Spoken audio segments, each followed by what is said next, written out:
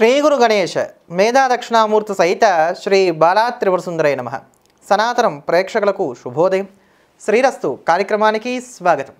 ఈరోజు సెప్టెంబర్ ఒకటవ తేదీ భాద్రపద శుద్ధ చతుర్దశి ఉదయం తొమ్మిది గంటల నలభై నిమిషాల వరకు ఉంటే తర్వాత నుంచి కూడా పూర్ణిమ గడియలు ప్రవేశిస్తున్నాయి. వారం మంగళవారం ధనిష్ఠా నక్షత్రం అతిగంట యోగం వణిజ భద్ర కరణాలున్నాయి. ఇటువంటి తిదివార నక్షత్ర సంయోగం కలిగినటువంటి నేటి రోజున సాధారణమైనటువంటి కార్యక్రమాలకే కాలం అనుకూలంగా ఉన్నదని చెప్పుకోవాలి. కానీ ఆధ్యాత్మికంగా చూసినప్పుడు ఈరోజు చాలా విశేషమైనటువంటి పర్వదినం.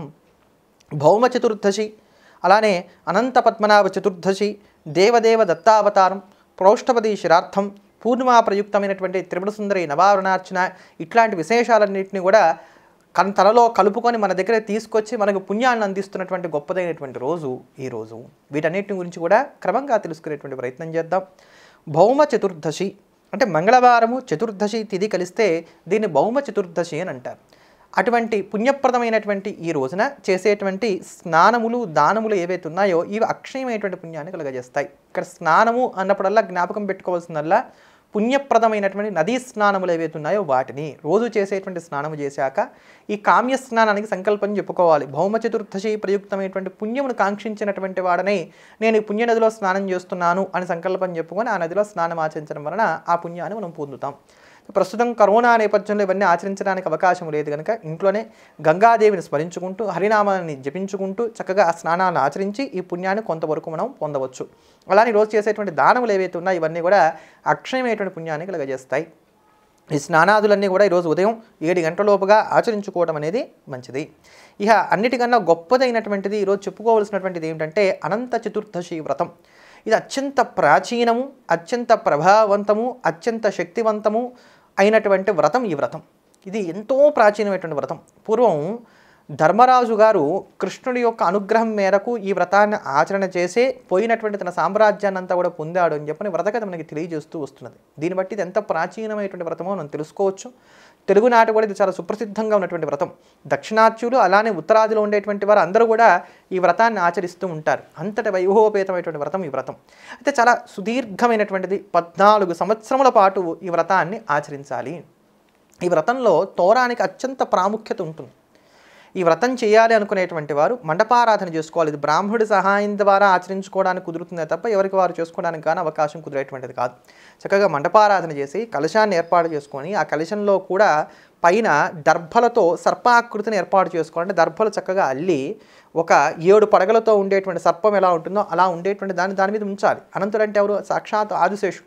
ఆ ఆదిశేషుడికి శ్రీమన్నారాయణుడికి భేదం ఏమీ లేదు. అందుకని ఆ సర్పాకృతిలో ఉండేటువంటి దాన్ని అక్కడ అట్టిపెట్టి దాన్ని పూజించాలి. ఆ పూజించి పద్నాలుగు ముడులు కలిగినటువంటి తోరాన్ని చేతికి ధరించి వ్రతకథ చెప్పుకోవడం వాయనం ఇవ్వడం ఇలా మిగతా వ్రత నియమాలన్నీ సాధారణంగానే ఇందులో కనబడతాయి. ఇలా పద్నాలుగు సంవత్సరాలు ఈ వ్రతాన్ని ఆచరణ చేయాలి. ఆజన్మాంతం వ్రతాచరణ చేయడం కూడా మంచిదే. అయితే వ్రత తోరం ఏదైతే ఉంటుందో దాన్ని ఆ ఇంట్లో ఉండేటువంటి వారే అంటే కో అత్తగారి తర్వాత మళ్ళీ కోడలు కోడల తర్వాత మళ్ళీ వారి కోడలు ఇట్లా తీసుకుంటూ వెళ్ళాల్సిందే తప్ప పరులకు ఇవ్వరాదు అనేటువంటి నియమం కూడా మనకి ఆచారంలో కనబడుతూ వస్తుంది. వ్రతగతిలో చెప్పబడకపోయినా ఆచారంలో మాత్రం అది మనకు కనబడుతూ వస్తున్నటువంటి అంశం. ఈ తోరాలన్నింటినీ కూడా సంవత్సర కాలం పాటు ధరించి ఉండి మరలీ ఆ తర్వాత సంవత్సరం నాడి వ్రతం చేసుకుంటున్నప్పుడు ఈ కొత్త తోరం కట్టుకొని పాత తోరాన్ని తీయాలి.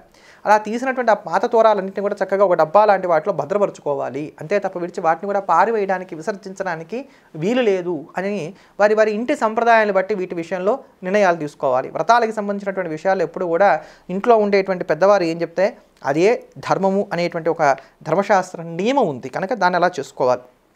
ఇలా చెప్పేటప్పుడు ఈ రోజున అనంత పద్మనాభ స్వామిని ఎలా ధ్యానం చేయాలో ఈ వ్రతంలో చెప్తారు. కృత్వ దర్భమయం దేవం పరిధాన సమన్వితం పనై సప్తవిరావిష్టం పింగళాక్షం చతుర్భుజం దక్షిణాకరకరే పద్మం శంఖం తస్యాప్యధక్కరే చక్రమూర్ధ్వకరే వామే గదా తస్యాపధక్కరే దదానం సర్వలోకేశం పీతాంబరధరం హరిం దుగ్ధాభిషాయినం జాత్వా చైవ మావాహయస్సుదీహి అంటూ వ్రత కథ మనకి తెలియజేస్తూ వస్తుంది వ్రత విధానం మనకి తెలియజేస్తూ వస్తున్నది. ఏడు పడగలతో కూడి శంఖచక్రాదులన్నింటినీ కూడా చక్కగా ధరించి పీతాంబరమును ధరించి అబ్దిలో ఉన్నటువంటి అంటే సముద్రంలో ఉన్నటువంటి పాన్పు పైన శయనించి ఉన్నటువంటి అనంత పద్మనాభ స్వామిని నేను ధ్యానిస్తున్నాను అని దీని అర్థం. అటువంటి ఆ స్వామిని చక్కగా షోడశోపచారాలతో పూజించిన తర్వాత తోరమునకు అధికమైనటువంటి ప్రాముఖ్యతను ఇక్కడ కలగజేస్తారు. పద్నాలుగు ముడులు కలిగినటువంటి తోరమును ఉంచి ఒక్కొక్క గ్రంథిని కూడా ఒక్కొక్క నామంతో పూజించాలి. కృష్ణాయ నమ విష్ణవే నమ జిష్ణవే నమ కాళాయ నమ బ్రహ్మణే నమ భాస్కరాయ నమ శేషాయ నమ సోమాయ నమ ఈశ్వరాయ నమ విశ్వాత్మాయ నమ మహాకాళాయ నమ సృష్టిస్థిత్యంతకారిణే నమ అచ్యుతాయ నమ అనంతపద్మనాభాయ నమ అనేటువంటి పద్నాలుగు నామాలతోటి కూడా ఆ తోరమును పూజించాలి. ఇవన్నీ కూడా ఊరికే తెలుసుకోవడం కోసం చెప్తున్నాం. ఒక అవగాహన రావడం కోసం చెప్తున్నటువంటివి. కనుక అలా తోరమును పూజించిన తర్వాత ఆ తోరాన్ని చేతిలో పుచ్చుకొనడానికి మళ్ళీ ఒక మంత్రం చెప్పారు. ఇంత విశేషంగా తోరానికి సంబంధించినటువంటి పూజ మనకి ఇతరత్ర కథల్లో మనకు కనబడు ఏదో తోరం తీసుకుంటాం కట్టుకుంటున్నప్పుడు ఏదో ఒక మంత్రం చెప్పుకుంటాం సరిపోతుంది. కానీ ఆ తోరముని ఇలా చక్కగా చేత్తో తీసుకుంటూ ఉండేటప్పుడు కూడా చెప్పవలసినటువంటి మంత్రాన్ని చెప్పారు. దారిద్ర్యనాశార్థాయ పుత్రపౌత్ర ప్రవృత్తయే అనంతాఖ్యమిదం సూత్రం ధారయామ్యహం ఉత్తమం. ఈ యొక్క తోరమును నేను గ్రహిస్తున్నాను. దేని కొరకు? దారిద్ర్య శమనానికి పుత్రపౌత్రాభివృద్ధికి అనంతమైనటువంటి సుఖాలను నేను పొందడానికి గాను ఈ తోరమును నేను గ్రహిస్తున్నాను అనేటువంటి అర్థంతో ఆ తోరాన్ని చేతికి తీసుకొని అనంత సంసార మహాసముద్రమగ్నం సమదుర్ధర వాసుదేవ అనంతరూపిన్ వినియోజస్వ అనంత సూత్రాయ నమో నమస్తే అనేటువంటి మంత్రముతో ఆ తోరమును కళ్ళకద్దుకోవాలట. ఆ తోరమును అలా కళ్ళకద్దుకొని దాని తర్వాత చేతికి ఆ తోరాన్ని కట్టుకోవాలి. అలా చేతికి తోరాన్ని కట్టుకునేటప్పుడు సంసార సాగర గక్వర గుహాసు సుఖం విహర్తుం వాంఛంతియే కురుకులోద్వ శుద్ధసత్వా సంపూజ్య చ త్రిభువనేశ మనంతరూపం భద్నంతి దక్షిణకరే వరదోరకంతే ఇత్యాదిగా ఉండేటువంటి మంత్రములు ఏవైతే ఉన్నాయో మంత్రాలు చెప్పుకుంటూ చేతికి కట్టుకోవాలి. చూడండి చేత్తో ఆ తోరాన్ని పుచ్చుకొనడానికి ఒక మంత్రం ఉన్నది కళ్ళకద్దుకునడానికి ఒక మంత్రం ఉంది చేతికి కట్టుకొనడానికి ఒక మంత్రం ఉంది. అలానే పాత తోరమును విసర్జించేటప్పుడు కూడా మళ్ళీ ఒక మంత్రం చెప్తారు. అనంతానంత దేవేశ అనంత ప్రదాయక శూత్ర గ్రంథిషు సంస్థాయ విశ్వరూపాయతే నమ అనేటువంటి శ్లోకమును చెప్తూ ఆ పాత తోరమును తీసివేయాలి అని అన్నారు. కనుక ఇందు తోరము అత్యంత ప్రధానమైనటువంటిది. ఈ తోరం ఎంత ప్రధానమైనటువంటిది అనేది మనకి వ్రతకథలోనే చాలా స్పష్టంగా చెప్పడం అనేది కూడా జరుగుతుంది. ఈ వ్రతమును ఆలు మగలు ఇరువురు కలిసి ఆచరించాలి. ఏదో ఆడవాళ్ళ వరకు పరిమితమైనటువంటి వ్రతం అనుకోవడానికి లేదు. గృహస్థుమైనటువంటి స్త్రీ పురుషులు ఎవరైతే ఉన్నారో భార్యాభర్తలు ఎవరైతే ఉన్నారో ఇద్దరు కూడా ఆనందంగా ఈ వ్రతాన్ని ఆచరించాలి. ఈ వ్రతం ఆచరించడం వల్ల ఎటువంటి ఫలితం కలుగుతుంది అనే దాన్ని వ్రతగదిలో చెప్పినటువంటి దాన్ని సూక్ష్మంగా మనం తెలుసుకునేటువంటి ప్రయత్నం చేద్దాం. ఒకప్పుడు ధర్మరాజు కృష్ణ పరమాత్మను అడిగాట మాకేమిటి కష్టాలు? ఈ వనవాసం ఏమిటి? మాకు ఈ అజ్ఞాతవాసాలు ఏమిటి? ఇదంతా ఏమిటయ్యా? మాకు ఈ కష్టాలు పోవడానికి ఏదైనా ఒక ఉపాయం చెప్పు అంటే అప్పుడు కృష్ణుడు ఈ వ్రతాన్ని ధర్మరాజుకు ఉపదేశం చేశాడు.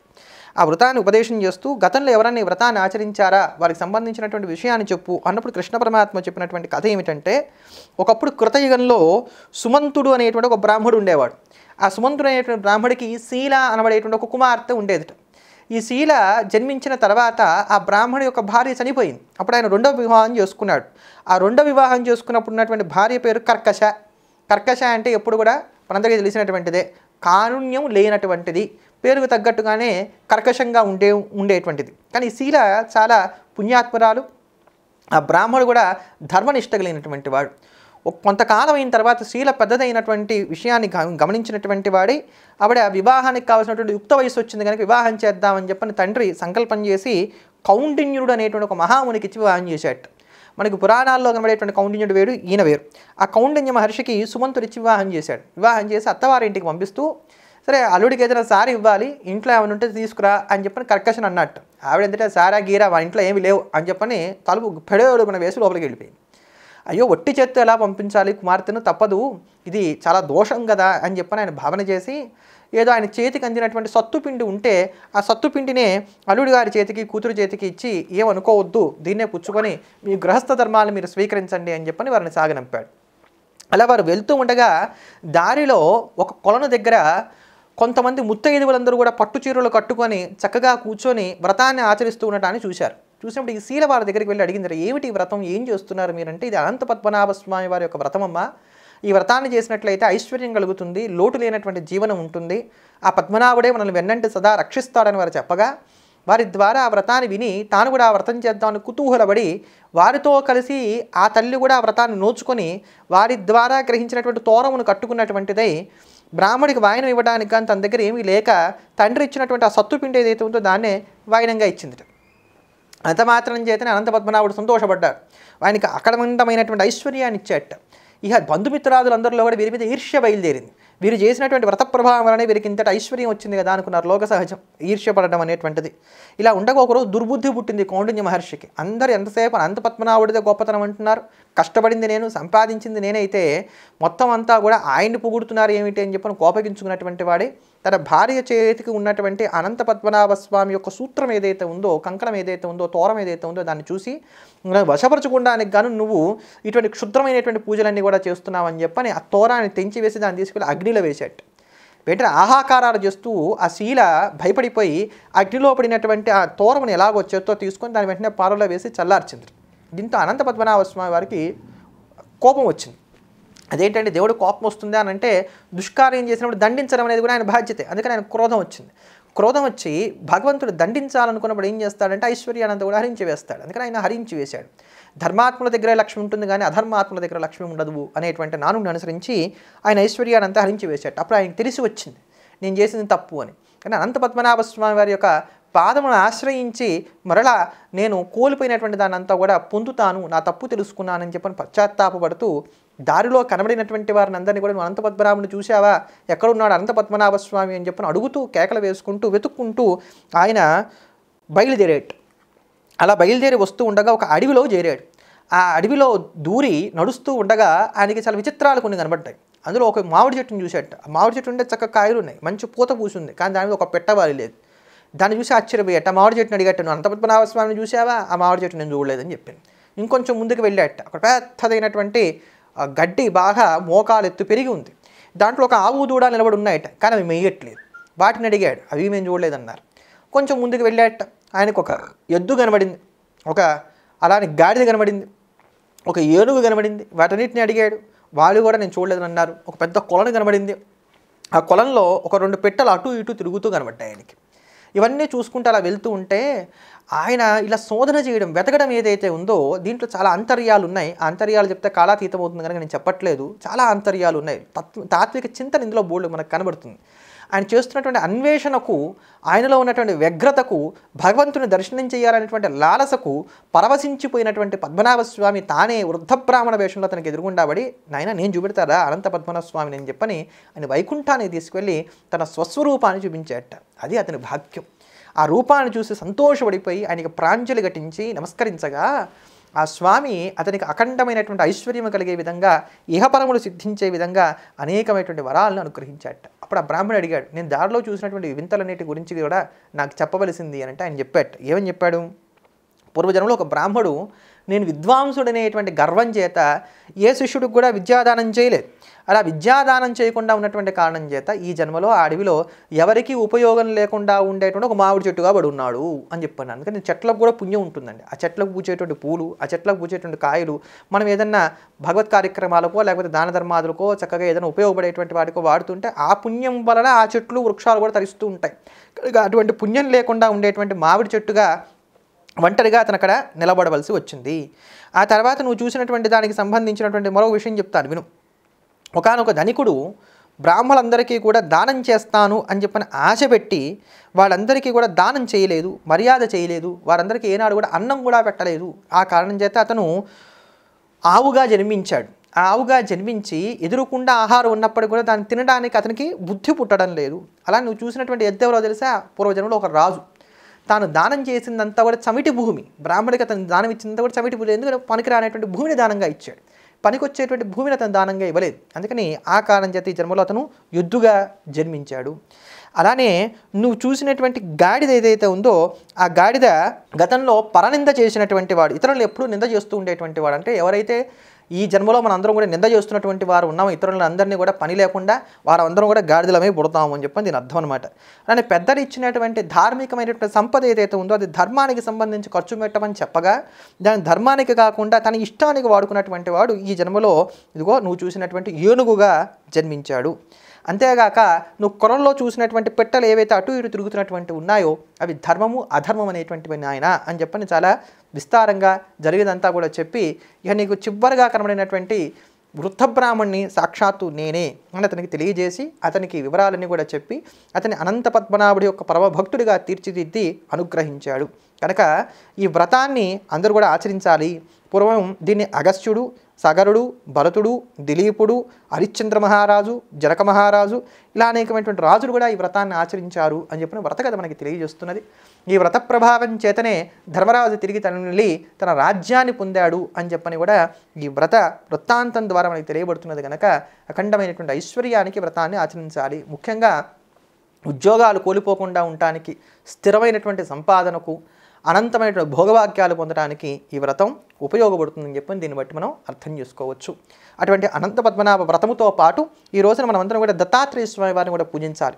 షోడశ దత్తావతారములలో ఈ రోజున స్వామి దేవదేవ దత్తావతార స్వరూపములో ఆవిర్భవించినటువంటి రోజు. సహ్యాద్రి పర్వతం పైన చతుర్భుజములతో శంఖచక్రగదా పద్మములను ధరించి స్వామి ఈ రోజున దేవదేవదత్తావతార స్వరూపంలో ఈ భాద్రపద శుద్ధ చతుర్దశి ఉన్నటువంటి రోజున ప్రథమ ముహూర్తంలో ప్రథమయామంలో అవతరించారని చెప్పని దత్త వైభవం మనకి తెలియజేస్తూ వస్తున్నది. అలా స్వామి అవతరించగానే మొట్టమొదటిగా బ్రహ్మదేవుడు వెళ్ళి స్వామివారికి నమస్కారం చేసి సర్వాపరాధనాశాయ సర్వపాపహరాయ చ దేవదేవాయ దేవాయ నమోస్తు పరమాత్మనే అని చెప్పని స్వామిని స్తోత్రం చేశాట అలా ఈ రోజున మనమందరం కూడా ధ్యానం చేసి స్వామివారి యొక్క అనుగ్రహం పొందడానికి గాను మూడు అర్ఘ్యములను స్వామి చక్కగా సమర్పణ చేయాలి. అలానే ఈ రోజున స్వామి ప్రీత్యర్థంగా పంచామృతములను దత్తాత్రేయుల వారికి నివేదన చేసి తాంబూలమును దానముగా సమర్పణ చేయాలి అని చెప్పని దత్తవైభవం మనకి తెలియజేస్తూ వస్తున్నది. ఈరోజు రాత్రి వేళకి పూర్ణిమ చంద్రుడు ఉన్నాడు కనుక ఈ రోజునే నవావరణార్చన కూడా మనమందరం కూడా ఆచరించాలి. అంటే ఎవరైనప్పటికీ శ్రీ విద్య తత్పరులైనటువంటి వారు ఉన్నట్లయితే వారు ఈరోజు నవావరణార్చన చేస్తారు.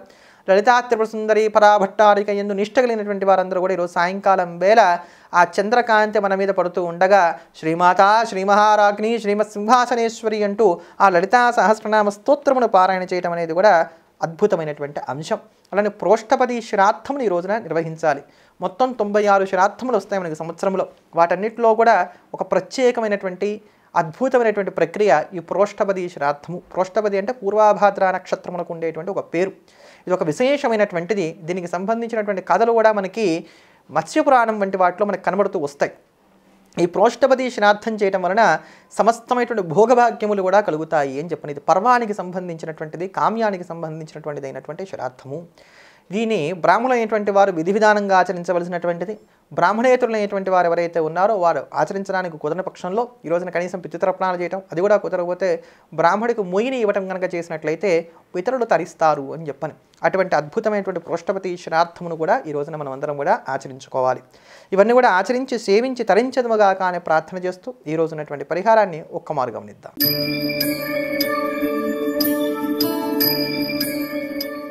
ఈ రోజు నేను మీ అందరికి కూడా చాలా తేలిక సులభతరము అయినటువంటి ఒక పరిహారాన్ని చెప్తున్నాను. ఇది ఎవరికి వారు ఆచరించుకోదగినటువంటిది పెద్దగా ఖర్చు అసలు అసలు ఖర్చే లేనటువంటిది. పెద్దగా కాదు అసలు ఖర్చే లేనటువంటి పరిహారం పరిహారం. దేనికి ఉపయోగపడుతుంది అంటే యాక్సిడెంట్స్ కాకుండా ఉండడానికి ఉపయోగపడుతుంది. ఎవరికైనా జాతకరీత్యా వాహన గండ ఉంది కానీ ఉద్యోగరీత్యా రోజు వాహనం మీద వెళ్ళక తప్పనటువంటి స్థితి ఉంటుంది. అలా అనుకున్నప్పుడు అలానే కొంతమంది టీనేజ్లో ఉండేటువంటి పిల్లలు ఎంత చెప్పినా వినకుండా వాహనం నడుపుతూ ఉంటారు. అటువంటి సమయాల్లో వారిని రక్షించడానికి కూడా ఈ పరిహారం చాలా వరకు కూడా ఉపయోగపడుతుంది. అయితే దీన్ని ఎన్నాళ్ళు చేయాలంటే మీకు ఆ గండ దోషం ఎన్నాళ్ళు ఉందో అన్నాళ్ళు కూడా చేసుకుంటూ ఉండడం అనేది మాత్రం చెప్పదగినటువంటిది. అలా లేదా మీరు ఏదైనా ఒక లాంగ్ ట్రిప్ వెళ్తున్నారు చాలా దూరం వెళ్తున్నారు చాలా ప్రయాణం చేస్తున్నారు ఆ రోజు కూడా మీరు ఈ పరిహారం చేసుకోవడం వల్ల కూడా దారి మధ్యలో మీకు ఎక్కడా కూడా ఎటువంటి అవాంతరములు రాకుండా అంటే కింద పట్టాలు దెబ్బలు తగ్గడాలు లాంటివి ఏవీ లేకుండా మీ యొక్క ప్రయాణాలని మీరు చక్కగా పూర్తి చేసుకోగలుగుతారు. దీనికి చేయవలసిందల్లా చాలా తేలిక. ఒక ఏడు మిరియాలు తీసుకోండి. నల్ల మిరియాలు ఏడు మిరియాలు మనందరికీ ఇంట్లో ఉండేటువంటివి. ఒక ఏడు నల్ల మిరియాలు తీసుకొని ఇంట్లో నుంచి బయట అడుగుపెట్టిన తర్వాత గడప దాటిన తర్వాత ఈ ఏడు నల్ల మిరియాలను కూడా తల చుట్టూగా తిప్పివేసుకొని దక్షిణం వైపు విసిరివేసేయండి. దక్షిణం సౌత్. ఆ సౌత్ వైపు దక్షిణం దిక్కు వైపు వాటిని విసిరివేసేయండి. ఇంత మీరు చేయవలసింది. హాయిగా మీరు వెళ్ళిపోండి. మీ ప్రయాణాలు ఏవైతున్నాయో మీరు చూసుకోండి. మీ పనులు ఏవైతున్నాయో మీరు సాగించుకోండి. దీనివలన ఎక్కడా కూడా ఎటువంటి ఉపద్రవాలు కలగకుండా శ్రీరామ రక్షగా హాయిగా మీరు ఉండగలుగుతారు. ఇంతే. చాలా తేలికైనటువంటి పరిహారం. ఇటువంటి అద్భుతమైనటువంటి పరిహారాలతో విశిష్టమైనటువంటి అంశాలతో రేపటి రోజు మళ్ళీ కలుద్దాం. ఎల్లప్పుడూ దేశాన్ని ప్రేమిద్దాం. దైవాన్ని స్మరిద్దాం. స్వస్తి. ఈ వీడియో మీకు నచ్చినట్లయితే లైక్ ఆర్ షేర్ చేయండి. మరిన్ని ఆధ్యాత్మిక సనాతన కార్యక్రమాల కోసం మా ఛానల్ సబ్స్క్రైబ్ చేసుకోండి.